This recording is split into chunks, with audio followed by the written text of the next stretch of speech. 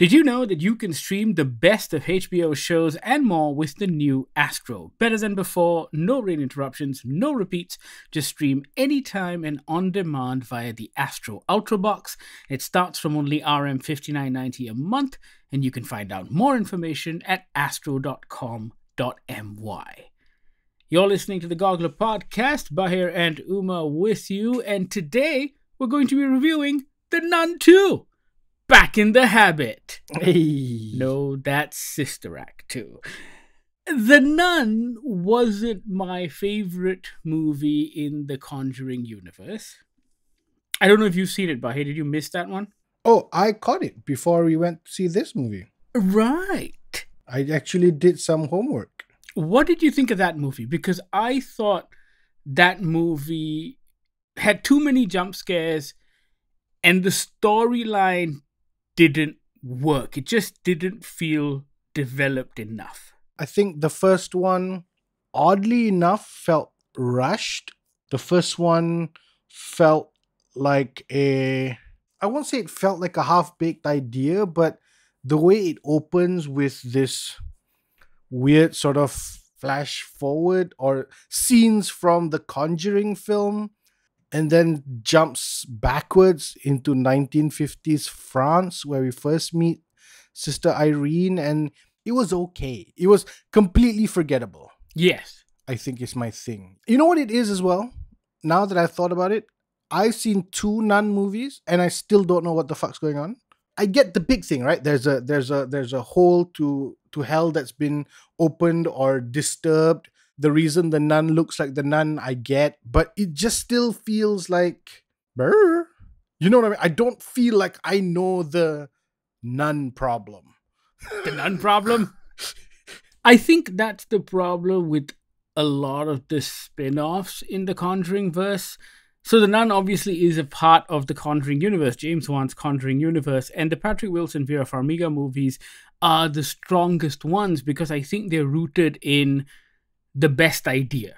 These, uh, right. This idea of these paranormal investigators, the Warrens, their true life adventures. Everyone loves a true life ghost story, right?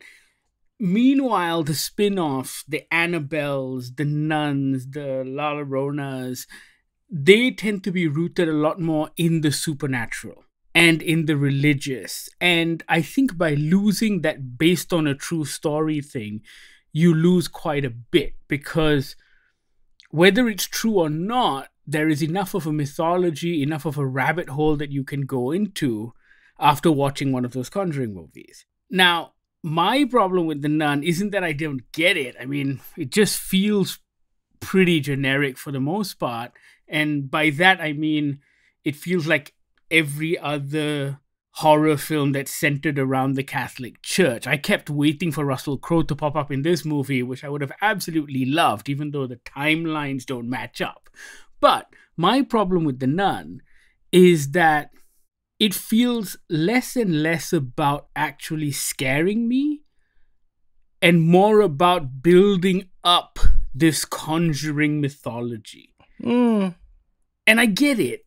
I get that they've given away what Valak looks like in the last film. So the demon isn't going to be as scary as the first time, and you can't just rely on jump scares. And so this movie does away with that completely.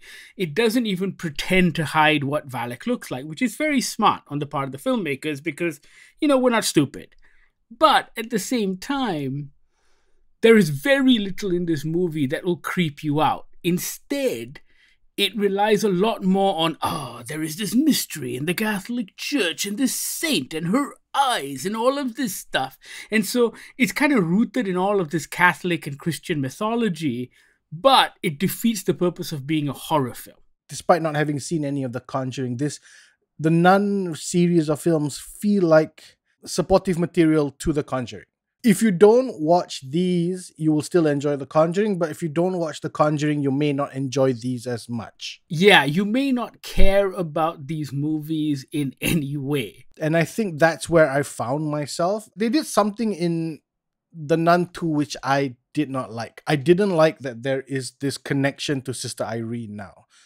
Whereas in the first one, it was just her and Father Burke, I think it was, who went on this demon hunting mission, which was cool. Like, if the second one was a bit more of that, okay. But suddenly there's this link to her history and she's the chosen one and blah de blah de blah. And I think the building of that mythology, the building of that history makes it feel like they're trying to prop up something that's not as important as it is. Yeah, Damien Bichir clearly didn't want to come back for this one, so Father Burke is dead. What? How? I just thought that was great. They just killed, just like straight off, like it's not that he's unavailable at the moment, or we're just sending you. We're having our di- no. He's dead. He's done. He's out. No See ya. longer. No more. Bye bye. See ya. Bye bye. Done. Yeah. That's it. I did prefer the Nun 2 to the first one just because I thought the story was richer and the characterizations were slightly better. And the thing I think that carried me through it and the thing I like the most is Tessa Farmiga as Sister Irene because Mm. I think that's some very clever casting. She looks like she could pass off for a nun, for an actual sister. But at the same Mm. time, like there's a purity in her face. But at the same time, when face to face with the demon, there is a badassness as well. Like Yeah. she's not afraid. Just like Russell Crowe's Father Amorth in Yeah. The Pope's Exorcist, he doesn't actually display fear in the face of the demon.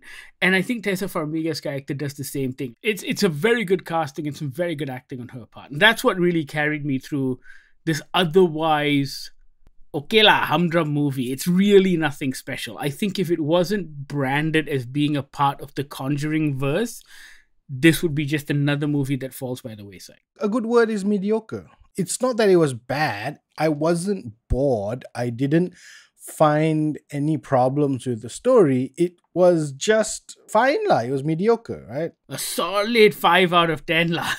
Solid five out of ten. Like no complaints at all. because the acting is good, the characterizations are great. It was shot really well. There are some scenes in particular that I thought were quite clever. There's a particular moment at a newsstand with some magazines that I really enjoyed. I thought that was new. I feel like I hadn't seen that before in Correct. some way. Yeah. But it wasn't enough. Those moments were too far and too few between. And I think that was the problem. Most of the movie felt like stuff that we'd seen before. And I don't know why, but Valak doesn't feel as imposing or as intimidating as a demon. And I think it's because of what he does. Like he doesn't do enough. Yeah, he goes around murdering members of the clergy in strange ways, like setting them on fire and dropping a hook on them and hanging them out a window. Fine. But I don't know, it just doesn't feel cruel or scary in any way. This wasn't a demon that was going to linger with me after the movie was done. It was also weird that I didn't feel like the nun herself, or itself rather, was particularly. After having seen both films, I don't feel like the nun is the big boss. It doesn't feel like the big demon at the end of the battle.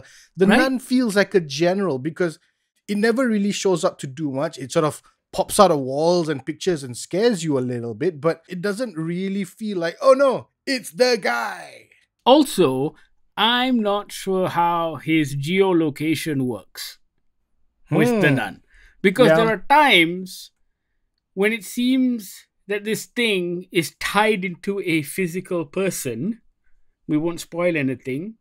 But yet, in my head, if it's tied to a physical person, wouldn't it have to be in the vicinity of that person because it is possessing that person? Yeah. But then it can show up an hour away in some other village and torment Sister Irene. And I'm like, wait, Mm. can he just be everywhere at any time? How does this work? But also, like, we didn't get any of that special connection with Sister Irene in the first one. No, Why is it suddenly like you go through some papal books because she papers? defeated it one time. So now it's like, I know who you are. Yeah, but we didn't get any.